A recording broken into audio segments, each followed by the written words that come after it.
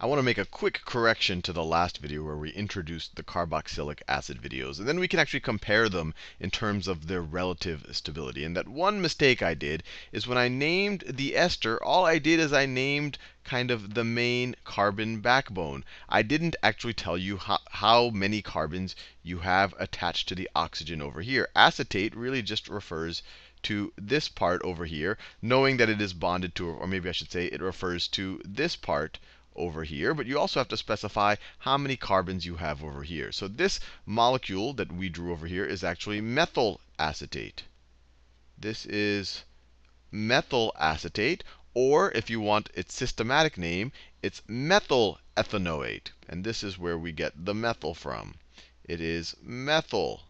It is methyl ethanoate. Now, with that out of the way, let's actually compare these carboxylic acid derivatives. And I'll compare the derivatives of acetic acid. So the first one we saw was the amide, acetamide. Acetamide looks just like this. This is acetamide. Then the next one we looked at was the ether, and that's the one I just pointed out the mistake on. So this was, this was ethyl acetate. So you have CH3 right here. This is where, uh, sorry, this is methyl acetate. This is where the methyl part comes from. So this is methyl, methyl acetate. And then we will compare that to the anhydride version. So this is acetic anhydride. Let me do this in a new color. Acetic anhydride looks like this acetic anhydride looks just like that. Acetic, acetic anhydride, acetic anhydride, and finally, finally we had the we had the acetyl chloride, acetyl acetyl chloride looked just like this. Looked just like this. And of course, these are all derivatives of acetic acid, which we drew at the top of the last video, which is right over there, acetic acid. Now let's think about which of these may or may not be more stable. And to think about it, we're going to think about any resonance structures that these molecules might have. So if we first focus on acetamide, we know that nitrogen forms three bonds and then has two extra electrons that form another lone pair. And it's actually it's actually electron rich because it's a good bit more electronegative than the hydrogens here, and actually even a little bit more, and a reasonably more, more electronegative than the carbon it's attached to. So you can imagine a situation where a nitrogen could donate an electron to this carbon right over here, and then that carbon can let go of one of the double one of the electrons in a double bond with the oxygen, and so it could go back to the oxygen, and you would have a resonance structure. You would have a resonance structure that would look like this. Let me actually use the same colors. You would have a resonance structure that would look like this. This oxygen just gained an electron up there. And actually, let me draw the electron. Well, actually, I'll just put the negative charge due, that due to that electron. And then we had this bond right over here to the nitrogen. But the nitrogen just gave an electron to this carbon right here, the carbonyl, or what was the carbonyl carbon. And so now we have a double bond over here.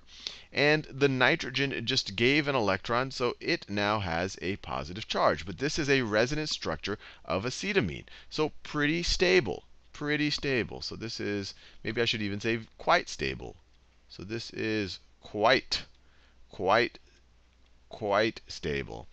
Now, let's think about an ether here. And we could probably do something fairly similar. So if we think about this ether here, oxygen has oxygen has two, two extra lone pairs. It is more electronegative than the things that it is bonded to. So it could do a very similar thing to what this nitrogen did. It could give an electron to this carbon right over here, and then that carbon can give back an electron to this to the carbonyl oxygen, to that oxygen over there. And so its resonance structure would look like this. It would have a resonance structure. So it's almost the exact same thing as, as what we saw with the amide.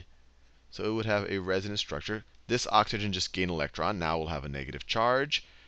This bond to the oxygen is still there, but this oxygen just gave another electron, formed another bond with what was the carbonyl carbon. It actually forms a new carbonyl group, if you want to view it that way.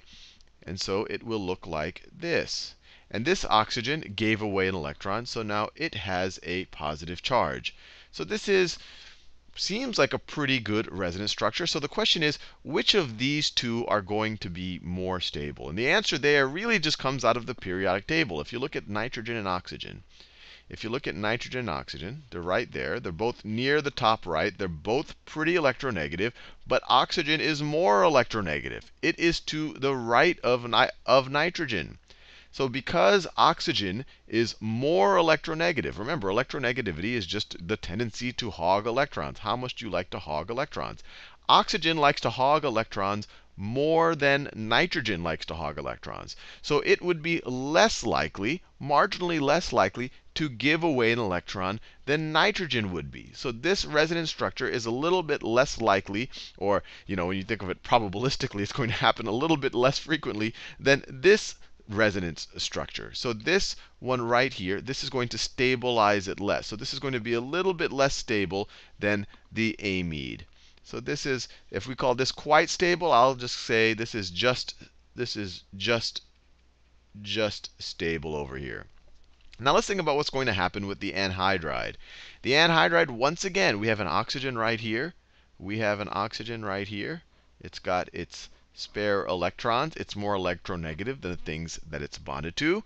So it, you, it seems like you could do something very similar to what we saw with the, with the actual ether. It could donate an electron. It could make it could donate an electron to this bond right over here, in which case you would have a resonance structure that looks like this. And if it donates an electron to this carbon over here, then an electron can be taken away from the carbon and given back to that oxygen. So that would give us a resonance structure that would look like this. It would give us a resonance structure. That guy now has a negative charge. We now have a double bond to this oxygen. It still has another bond to the other acyl group just like that. And now this oxygen gave away an electron, so it has a positive charge. So it seems like a very similar situation to what we saw with an ether. But there's another resonance structure here. You could also have a situation where instead of instead of the electron being donated to this carbon bond and that happening, you could have a situation like this, where the electron gets donated to that carbon bond, and then this electron gets taken back by that oxygen. So you would have you would have this situation. You would have a situation where this is still, this acyl group still looks the same, bonded this oxygen. But now we have a double bond over here. This guy took away an electron. So one of the double one of the bonds in the double bonds goes away. Now has a negative charge. And then you have the rest of the molecule.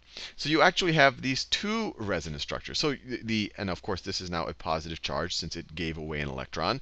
So you might say, hey, more resonance structures, more stability. But the key here is, is to realize is that both resonance structures are dependent from the same oxygen. This the, they essentially have to share this oxygen's electrons. So each one of these individually is less likely to occur than just what occurs with the ether. This guy's, uh, you could kind of view it as that both of these bonds have to share what in the ether, this one gets it on its own. And we even saw that this is still less likely to occur than this over here.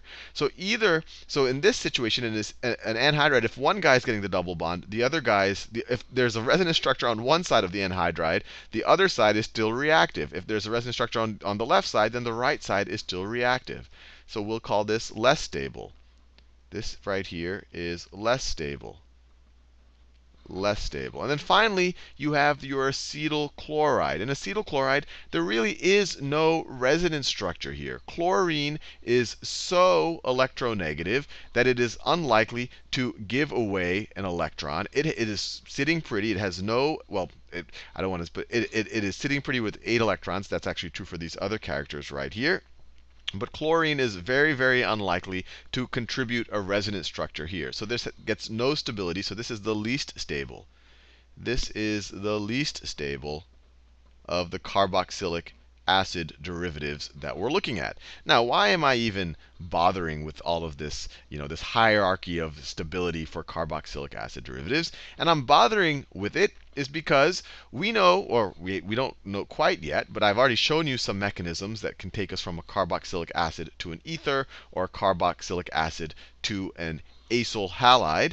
And in general, you can go between all of these and a carboxylic acid. But since we know their relative stabilities, we know that if you start with an acetyl chloride, you're much more likely to go to an acetamide if you have the proper ingredients there, if you have some amines floating around, than the other way around. You're much more likely to go from that to that, because this is much less stable than that, than you are from to go from acetamide to acetyl chloride. Likewise, you're much more likely to go from a carboxylic acid to and or let me put it this way, you're much more likely to go from a carboxylic acid to an acetamide and I don't haven't drawn the carboxylic acid here, but this has better resonance than even its original carboxylic acid than the other way around. Or you're much more likely to go from an anhydride to an ether. So that's why I'm doing this hierarchy. You're much more likely to go from something on the right to something on the left. And we'll explore some of those mechanisms in the next few videos.